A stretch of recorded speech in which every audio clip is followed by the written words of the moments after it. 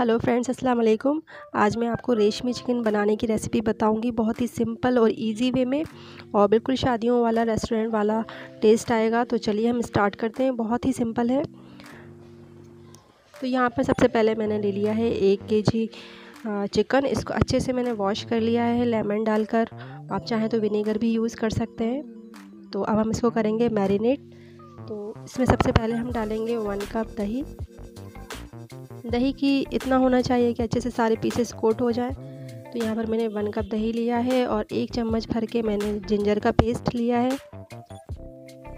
एक चम्मच ही मैंने गार्लिक पेस्ट यानी कि लहसुन का पेस्ट और हाफ़ टी स्पून के बराबर टर्मरिक पाउडर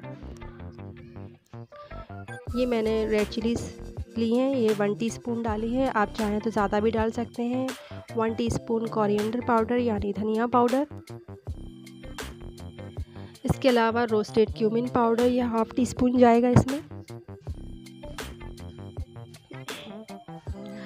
सॉल्ट आप अपने हिसाब से रखें इसमें।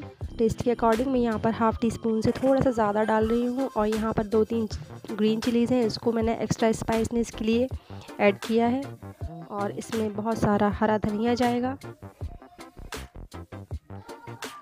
वैसे भी सर्दियों का सीज़न है तो हरा धनिया अब अच्छा और इजीली मिल रहा है और यहाँ पर मैंने तीन चम्मच क्रीम ली है, फ्रेश क्रीम। ये थ्री टीस्पून डाली है और इसको अच्छे से हमें हाथ से मिक्स कर लेना है। ध्यान रहे, हाथ अच्छे से वॉश होना चाहिए। मिक्स करने के बाद ये कुछ इस तरह से हो जाएगा। फाइनल काम हमें इसमें ये करना है कि इसको स्मोकी फ्लेवर देने के लिए चारकोल का यूज़ करना है। तो मैंने यहाँ पर चारकोल ऑलरेडी गर्म कर रखे थे और यहाँ पर अब हमें वन टीस्पून से भी कम इसमें घी डालूँगी और इसको कवर कर दूँगी एक दो मिनट के लिए। जिससे इसका सारा स्मोक जो है वो इसी चिकन में ऑब्ज़र्व हो जाए। इसको ढककर हम रख देते हैं एक तरफ़ और अब हम यहाँ पर तीन चम्मच, बड़े चम्मच हमने यहाँ पर कुकिंग ऑयल गरम करने रख दिया है। इसमें हम डालेंगे तीन मीडियम साइज़ के चॉप्ड अनियन ये रफली कट है क्योंकि अब हमें हमें इसको गोल्डन फ्राई करने के बाद इसको हमें प्योरे बनाना है, इसलिए हम इसको थोड़ा मोटा मोटा ही काट लेंगे और अच्छे से गोल्डन होने तक इसको फ्राई करेंगे। दस पंद्रह मिनट में ही हमारी अनियन अच्छे से गोल्डन हो चुकी है। अब हम इसमें दस पंद्रह बीस कैश्यूज़ डालेंगे। तो यहाँ पर पंद्रह बीस मैंने यहाँ पर कैश्यूज़ डाल दिए हैं। इसको भी अब हम एक दो मिनट तक स्टर फ्राई करेंगे। थोड़ा सा गोल्डन कलर हो जाए इनका भी। और इसके बाद हम इसको पीस कर इसका एक फाइन पेस्ट बना लेंगे। ये हमारा परफेक्टली कुक हो गया है। अब हम इसका पेस्ट बना लेते हैं ठंडा करके। तो ये हमारा पेस्ट भी रेडी है। अब जो बचा हुआ तेल है, हम उसमें अपना आगे का प्रोसीजर करते हैं। तो सबसे पहले हमने यहाँ पर एक, दो टुकड़े सिनेमन यानी कि दालचीनी, दो तीन हरी इलायची, दो तीन तेज पत्ते ये डाल दिए हैं और इसके बाद एक दो मिनट के बाद हम इसमें वही पेस्ट डालेंगे जो अभी हमने प्याज और कैशूज़ का बनाया था। अच्छे से चलाते रहें क्योंकि इसमें काजू है तो ये स्टिकी हो जाता है तो इसको चलाना बहुत ज़रूरी है। प्याज ऑलरेडी कुकड है तो इसको हमें ज़्यादा टाइम नहीं लगेगा पकने में। ये 10-15 मिनट हो चुके हैं इसको भूनते हुए और अब हम इसमें जो हमारा मैरिनेट करा हुआ चिकन था, वो भी ऐड कर देंगे इसमें। ग्रेवी अभी से ही रेशमी लग रही है, बिल्कुल सॉफ्ट स्मूथ पेस्ट लग रहा है।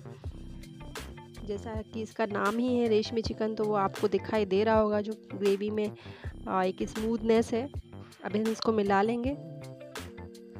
मिलाने के बाद हम 10-15 मिनट तक इसको अच्छे से पकाएँगे मीडियम फ्लेम पर।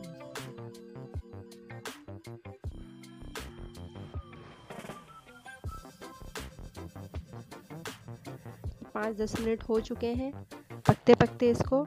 अब हम इसको थोड़ी देर के लिए कवर करके रख देंगे। कम से कम दस मिनट के लिए।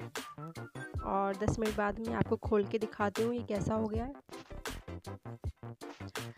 ये देखिए 10-15 मिनट के बाद ये थोड़ा सा ऑयल इसका सेपरेट होने लगा है अभी, लेकिन थोड़ा सा और इसमें कसर बाकी है। तो मैं थोड़ा सा इसमें से कुछ और चीज़ें ऐड करके इसको फिर से कवर कवर करके रखूँगी। तो यहाँ पर मैंने थोड़ा सा सॉल्ट डाल दिया है। और यहाँ पर मैंने कसूरी मेथी है, इसको मैंने ड्राई रोस्ट करके बारीक इसका पाउडर बना लिया और हाफ़ टी स्पून मैंने गरम मसाला भी ऐड कर दिया है। इसको हम मिक्स करेंगे। ये अच्छे से मिक्स हो चुका है। एक्स्ट्रा फ्लेवर कसूरी मेथी और गरम मसाले से इसका इन्हेंस होगा। और हम इसको आखिरी लास्ट टाइम में इसको एक बार और कवर करके रखेंगे और 10-15 मिनट के बाद हम इसको चेक करते हैं।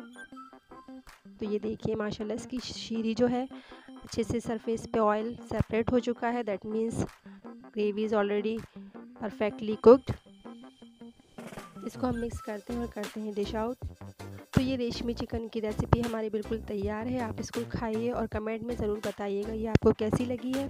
और वीडियो अच्छी लगी तो शेयर और लाइक करना ज़रूर बिल्कुल ना भूलें।